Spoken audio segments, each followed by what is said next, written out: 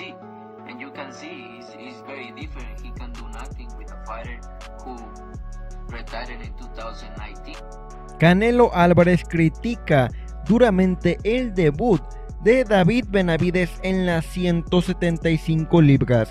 Y es que Canelo fue muy claro y argumentó, David Benavides no pudo con un peleador retirado desde 2019.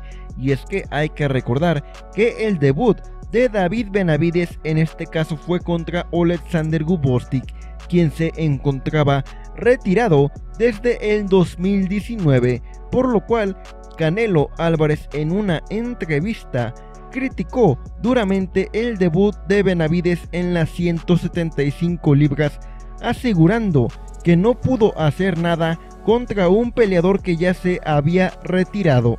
Y es que Benavides hizo su debut en las 175 libras el 15 de junio, cuando venció por decisión unánime a Alexander Gubostik.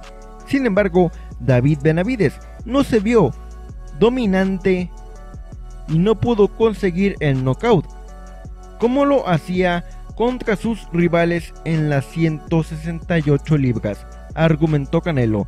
Creo que esa es su categoría de peso, 175 libras, y se puede ver que es muy diferente, no pudo hacer nada con un peleador como Gubostik, que se retiró en el 2019.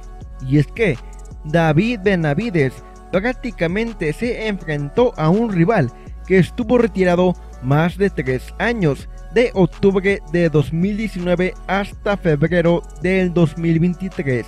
Y es que prácticamente luego de que Alexander Gubosdik fue noqueado por Arthur Beterbiev el 18 de octubre del 2019, no se supo más nada ya de él, hasta el año 2023, cuando hizo tres peleas, pero fue contra peleadores de muy bajo nivel, por lo cual prácticamente la pelea de Benavides contra Alexander Gubosdik era una pelea para que Benavides luciera muy bien, donde el equipo de Benavides dijo que peleó lesionado de una de sus manos. Finalizó Canelo Álvarez. Es diferente cuando estás en tu categoría de peso y peleas con rivales de tu peso.